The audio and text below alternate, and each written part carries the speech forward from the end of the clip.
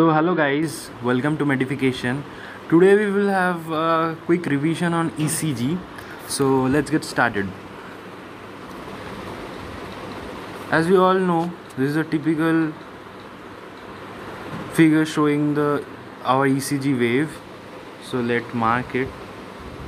It's the P wave. This is the Q wave. This is the R wave this is the S wave this is the T wave and this is the U wave. So so let's see what does this waves depicts P wave which which shows our atrial depolarization.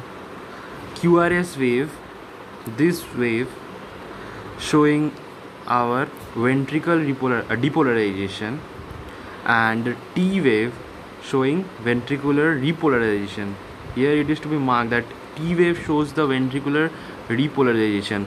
The qrs wave this wave shows the ventricular depolarization and from here in the point of t it shows the ventricular repolarization. So okay.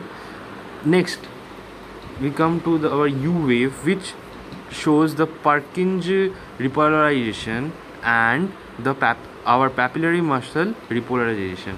So the two significant points to be noted here. Now let us see the segments of ECG segments is nothing but these are the if we try to understand easily these are only the straight line in ECG which we refer to as the segments. What is this segment? This segment is the isoelectric point. Point. And so what is isoelectric point? We all know it it is a point where there is no current flow. Now coming to our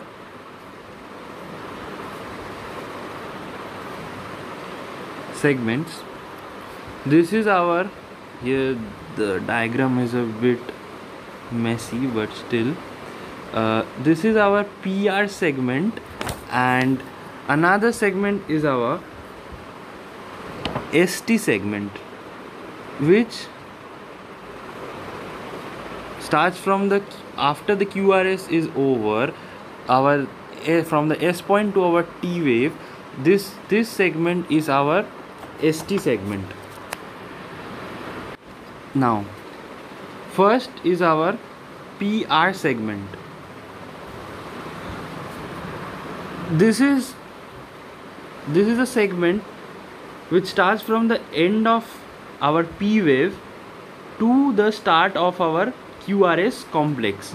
So end of P wave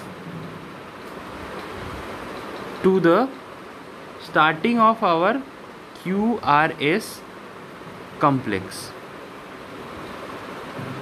Now, what does this PR, PR segment denotes?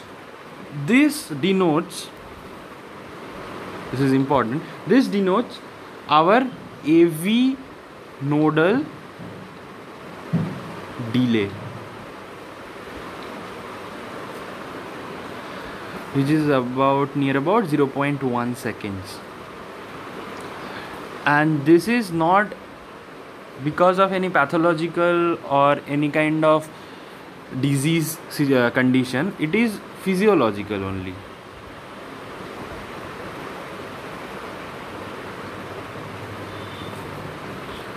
Now we will come to our second segment which is the ST segment.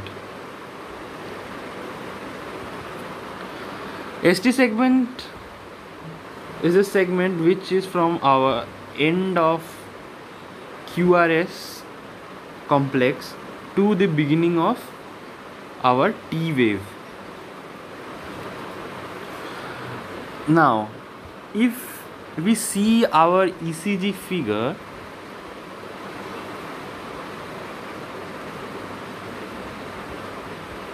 I'm drawing a rough one. So, we know that QRS this wave denotes our ventricular depolarization and our T wave denotes ventricular repolarization.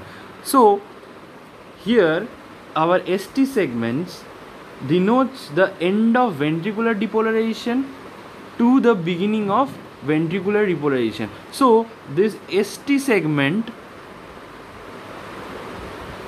is our we also call it as our joining point.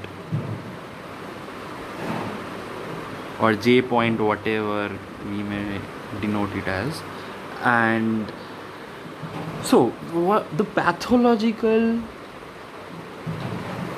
significance is that we know that in our segments this is actually our isoelectric point. So there is no current flow but due to some pathological conditions if there is current flow through this j point then generally this is known as our injury current and generally this current is found in myocardial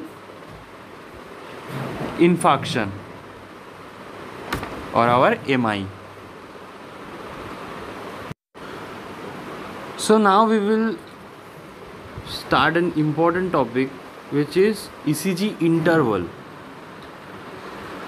We have generally three intervals which is the PR interval, RR interval and our QT interval. So, what is actually intervals? Intervals is nothing but wave plus the segment.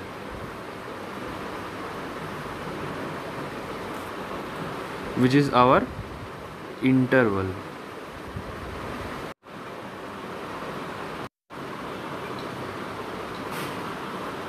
So now we will start with our first interval which is our PR interval. As I told wave is nothing but interval is nothing but just the wave and the segments. So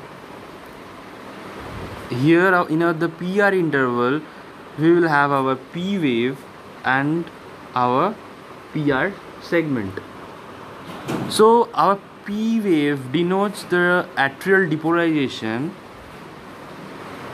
and our PR segment as we discussed earlier shows our AV nodal delay.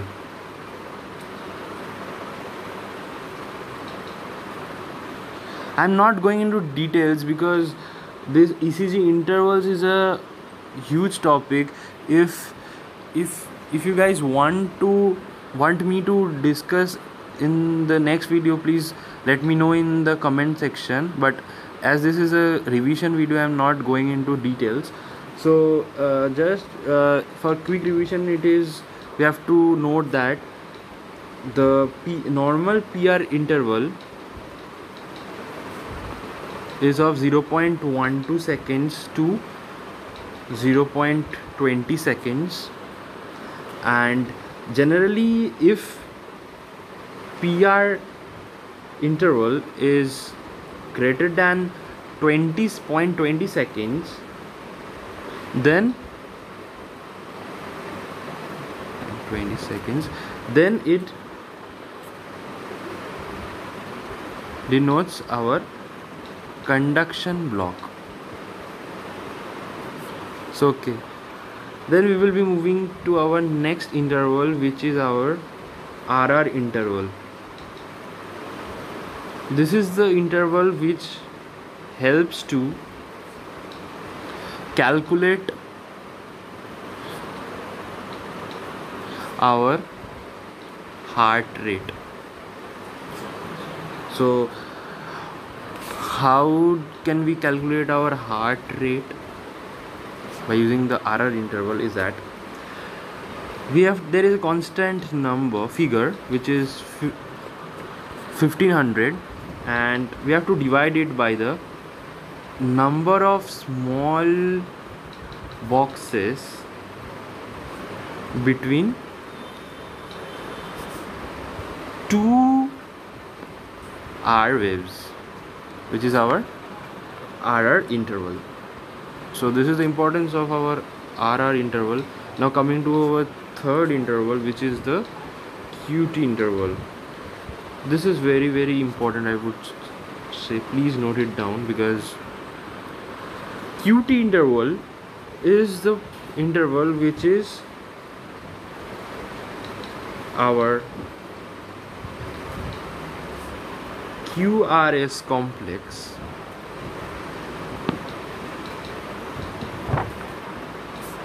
To the end of our T wave.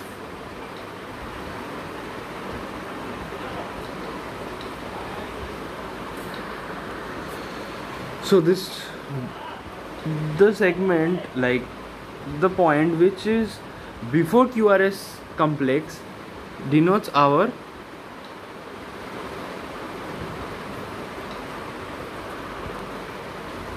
ventricular depolarization and our T wave depicts our ventricular repolarization. This QT interval is the total ventricular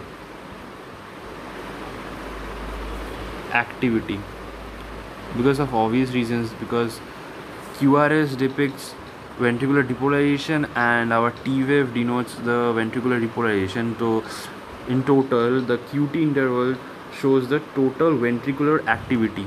Normally our QT interval is 0.40 seconds.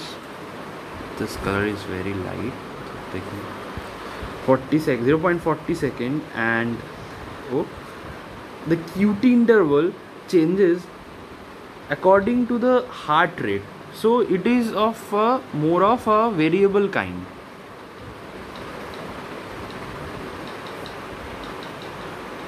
Because QT interval is dependent on the heart rate